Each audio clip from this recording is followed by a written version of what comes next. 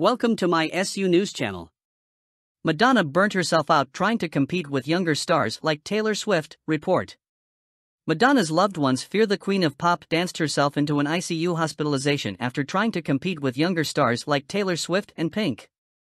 The 64 year old legend had been pushing herself to her physical limit ahead of her much anticipated celebration tour, which led to her sudden collapse and multi day intubation, insiders told The Sun.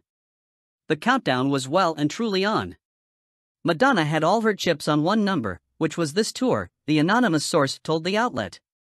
She was working overtime, but she clearly burnt herself out, and people around her have been politely reminding her that she is not 45 anymore, let alone 25 she needed to pace herself. Pushing herself so hard was extremely risky. Both Swift, 33, and Pink, 43, have been embarking on their own recent headline grabbing tours, characterized by their jaw dropping showmanship. Swift has been consistently playing four hour shows, while Pink stuns fans with aerial stunts hundreds of feet above her audience's heads. To compete, Madonna forced herself through hours of grueling rehearsals that slowly took a toll on her body. Those close to Madge noticed the physical strain she was withstanding and worried it could lead to a fate similar to Michael Jackson's, who died in the lead up to his This Is It tour in 2009. Madonna was in good spirits before the incident, but some friends had encouraged her to take it easy and find time for rest because of the grueling schedule she had ahead of her, a source told The Sun. Many of us feel the constant remarks about her age have put pressure on her to compete, so we are relieved that she has been forced to take time out and put her health first. People were really worried about her. Nobody would say it out loud, but there were concerns about another Michael Jackson situation if she doesn't slow down a bit.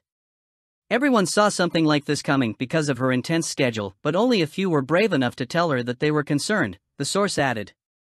The insider admission comes just one day after a friend of the superstar told Page Six that Madonna was pushing herself in an attempt to keep up with her dancers, who are just a fraction of her age.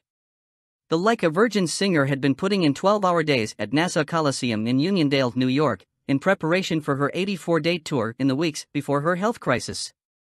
The tour, which was slated to kick off July 15, has since been put on pause.